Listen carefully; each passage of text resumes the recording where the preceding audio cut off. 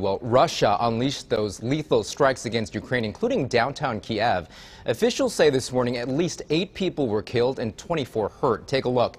Ukraine says civilian targets were hit during a massive attack and that Moscow suddenly blasted Ukrainian cities. This after Russian President Vladimir Putin called a weekend explosion on a huge bridge that connects Russia to part of the Crimea a quote terrorist attack, blaming Ukrainian special forces.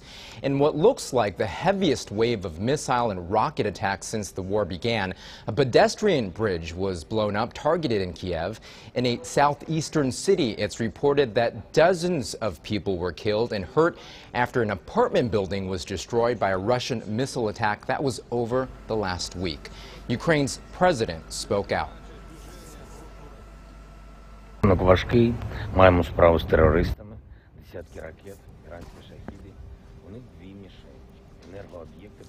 Well, right there, President Vladimir Zelensky says Ukrainians know what to do and that their future is sunny. He says if the occupiers leave, they'll have a chance. If not, they'll have to surrender to Ukraine. Well, coming up new in the next hour, Vladimir Putin is meeting with his Russian Security Council today.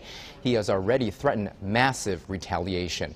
In the newsroom, Gene Kang, KTLA 5 News.